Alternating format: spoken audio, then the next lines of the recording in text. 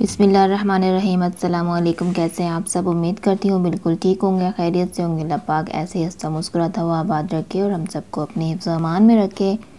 आज की रेसिपी बनने वाली है, ज़बरदस्त सी वाइट कढ़ाई आज बन रही है। चिकन वाइट कढ़ाई बहुत ही ईजी बहुत ही आसानी से ही बन जाती है और बहुत कम टाइम में झटपट से हम इसको तैयार कर सकते हैं। घर के मसालों के साथ खुशबूदार सी टेस्टफुल कढ़ाई कैसे बनाई जाती है, मैं आपको आज बताती हूँ। यहाँ मैंने चिकन ले लिया है। 600 ग्राम मेरे पास चिकन है। कढ़ाई कट मैंने ले लिए थे और उसको मैंने अपने कढ़ाई में डालकर चूल्हे पर रख दिया है और इसमें डाल दिया है मैंने एक स्लाइस किया हुआ, बारीक स्लाइस किया हुआ मैंने प्याज लिया है, वो इसमें डाल दिया है। One and half tablespoon डाला है मैंने लहसुन अदरक का पेस्ट और डाल दिया है मैंने साथ में एक कप पानी और वन टेबल स्पून नमक डालकर इसको हम मिक्स कर लेते हैं। और इसको कवर करके रख देंगे हम 10 मिनट के लिए। देखिए 10 मिनट हमारे हो चुके हैं। यहाँ हमारी प्याज जो है बिल्कुल घुल चुकी है सॉफ्ट हो चुकी है। प्याज को हमने बिल्कुल बारीक काटना है ताकि वो नज़र ना आए, घुल जाए इसमें। अब डाल देंगे हम वन टीस्पून डाल देंगे हम इसमें। वाइट पेपर वन टीस्पून गया है ज़ीरा पाउडर। और वन टीस्पून ही डाला है मैंने, कुटा हुआ धनिया। धनिया पाउडर नहीं हम यहाँ यूज़ करेंगे। कुटा हुआ धनिया हम यहाँ यूज़ करेंगे। इसकी जो अरोमा होता है, इसका बहुत ही ज़बरदस्त सा होता है और इसका फ्लेवर भी कुटे हुए धनिया का बहुत ज़बरदस्त आता है। तो इसके साथ ही मैंने डाल दिया है एक कप दही। उसको मैंने अच्छा सा स्मूदी सा फेंट लिया था। तो फेंट के हमने यहाँ दही यूज़ करना है। दही डालकर इसको हमने तीन से चार मिनट तक कुक करना है। बग़ैर कवर किए। और ये देखिए, दही हमारा अच्छी तरह से मसालों में पक चुका है। चिकन भी हमारा बहुत अच्छे से पक चुका है। अब डाल देनी है हमने यहाँ पर चार से पाँच हरी मिर्चें। हरी मिर्चों को मैंने बीच में से कट कर दिया था। वो मैंने डाल दी है और इसमें डाल दूँगी मैं साथ ही थोड़े से।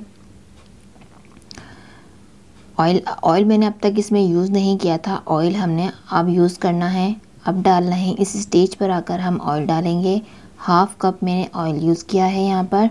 तो ऑयल डालकर अब हमने इसकी फ्लेम को तेज़ कर देना है और ऑयल डालकर इसकी अच्छी तरह से हमने भुनाई करनी है ताकि जो दही का पानी है, वो भी अच्छी तरह से खुश्क हो जाए और हमारे मसाले अच्छे से ऑयल में भुन जाएँ फ्राई हो जाएँ। और इस पर डाल देना है। अपने ऊपर से स्लाइस किए हुए अदरक डाल देंगे। तो ये देखिए, मसाले हमारे बहुत अच्छे से फ्राई हो चुके हैं ऑयल में। दही का पानी अभी भी इसमें है तो हम फ्लेम को हाई करके इसका पानी हम ड्राई कर लेंगे। तो यहाँ देखिए, तकरीबन ड्राई हो चुका है।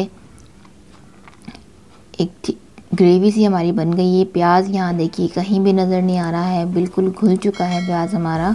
तो प्याज को हमने बिल्कुल बारीक स्लाइस करना है ताकि वो हमारा घुल जाए इसमें। अब यहाँ आकर हम डाल देंगे फ्लेम को, हमने यहाँ पर स्लो कर दिया है अपना, और यहाँ पर मैंने हाफ़ कप क्रीम यूज़ करी है। पैकेट वाली क्रीम मैं यहाँ पर यूज़ कर रही हूँ, वो मैंने यहाँ डाल दी है हाफ़ कप। और अब डाल दूँगी मैं ब्लैक पेपर। ब्लैक पेपर हमने ज़्यादा यूज़ नहीं करना है, क्योंकि ये कलर अब थोड़ा डार्क कर देगा इसका। तो हमने वाइट कलर इसको रखना है। हाफ़ टी स्पून मैंने ब्लैक पेपर कोटा हुआ यूज़ किया है। तो अब मैं इसको कवर करके रख देती हूँ। पाँच मिनट के लिए स्लो फ्लेम पर ताकि इसका ऑयल जो है वो ऊपर आ जाए। ये देखिए, पाँच मिनट मैंने छोड़ दिए थे इसको क्रीम डालने के बाद तो इसका ऑयल अपने आप ऊपर आ चुका है। हमारी कढ़ाई ज़बरदस्ती बन चुकी है, तैयार हो गई है। अगर आपको इसकी ग्रेवी को थोड़ा सा ढीला सा रखना है तो इसमें आप दूध डाल दीजिए, पानी मत डालिएगा। तो अगर आपको मेरी ये रेसिपी अच्छी लगी हो तो प्लीज़ लाइक शेयर ज़रूर कर दिया करें। चैनल को भी सब्सक्राइब कर दिया करें। अपना बहुत ख्याल रखिएगा। अल्लाह हाफ़